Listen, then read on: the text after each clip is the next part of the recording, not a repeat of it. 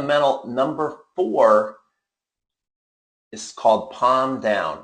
Look how the racket face is towards the ground. Why? Because his hand is facing the ground. Also, his grip being in a strong semi-western to full western grip, I think it's kind of in between the two, uh, is going to allow him to create massive top spin and not to do something I call a tweak. A tweak is when your racket face opens up at contact and the ball flies on you.